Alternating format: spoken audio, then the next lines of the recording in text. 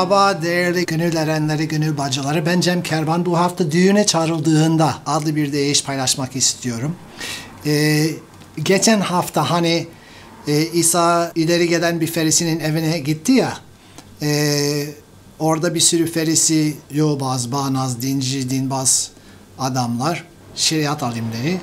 Bir de bir hasta. O gün günlerden Şabat günü yani Yahudilerin cumartesi çalışma yasağı olan gün. Ama yine İsa o hasta adama şifa verdi. Ee, sonra devam ediyor. İsa orada fark etti ki yemeğe davet edilen herkes çaktırmadan en iyi yerleri seçip oturmaya çalışıyordu. Onlara şöyle nasihat verdi. Düğüne davet edildiğinizde hemen baş köşeyi kapıp oraya oturma. Ya düğüne senden daha saygın biri davet edilmişse, baş köşeyi kapmışsan, ikinizi de davet eden senin yanına gelip sana oturduğun bu yer bu adama ait diyebilir. O zaman mahcup olursun. Kalkıp en arkada hangi boş yerler kalmışsa oraya geçmek zorunda kalırsın. Bunun yerine oraya girer girmez hemen en arka yere otur. Seni davet eden seni görünce gelip sana can dostum daha öne buyurmaz mısın desin. O zaman diğer bütün misafirlerin önünde şereflendirilirsin. Kıssadan hisse kendini göklere çıkaranlar güm diye yerlere çakılacak. Alçak gönüllüler ise ta göklere çıkarılacak.'' Yani hani bazı insanlar e, kendini yere göğe sığdıramıyor ya. Yerleri güm diye çakılacak. Ama diyor alçak gönüllüler, mütevazılar ta gökleri çıkarılacak. Şereflendirilecek. Evet, e, değiş haline getirdim ve paylaşmak istiyorum.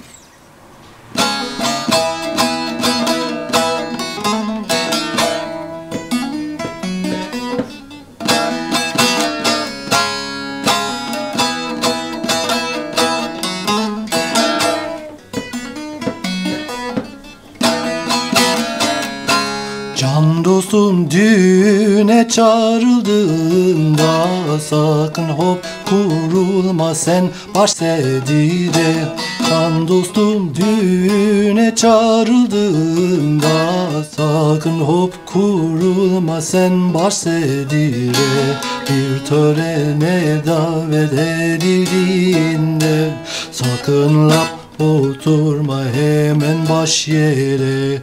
Bir törene davet edildiğinde Sakın lap oturma hemen baş yere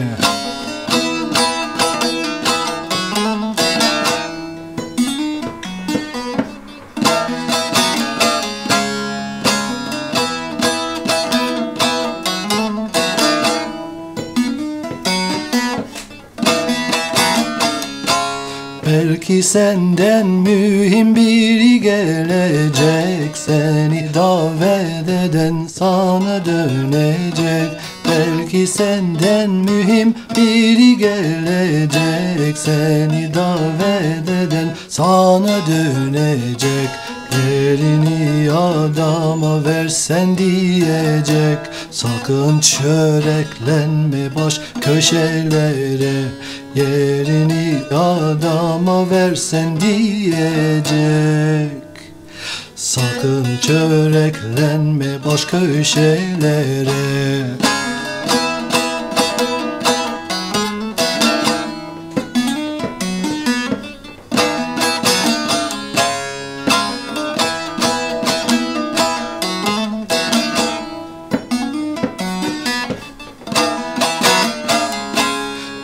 Bilakis git arka yere otur sen Seni davet eden de sana gelsin. Bilakis git arka yere otur sen Seni davet eden de sana gelsin. Daha öne buyurmaz mısın desin. Sakın sahip çıkma baş mekanlara Daha öne buyurmaz mısın desin? Sakın sahip çıkma baş mekanlara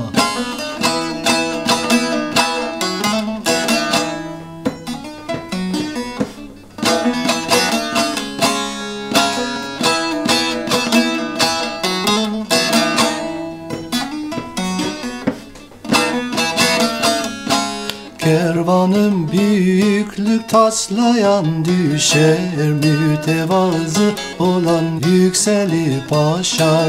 Kervanım büyüklük taslayan düşer Mütevazı olan yükselip aşar. Hem yüreği aşkı hak ile coşar.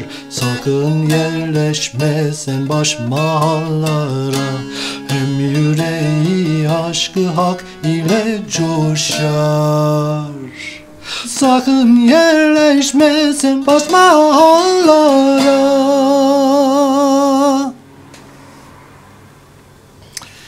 Evet bu bir misal tabi. sadece düğünlere, törenlere gittiğimiz zamanla ilgili bir şey değil. Ee, bir bir tutumdur. Gönlümüz her zaman mütevazi kalsın. Kısadan hisse kendini gökleri çıkaranlar güm diye yerleri çakılacak. Alçak gönüllüler, mütevazılar ise ta gökleri çıkarılacak. Evet beğendiyseniz lütfen beğendim diye işaretleyin, abone olun, yorum yazın ve haftaya yine görüşmek üzere. Tevazuda kalın, hakla dost, aşkla mest kalın, sevgide kalın, barışta kalın, esen kalın, hoşça kalın.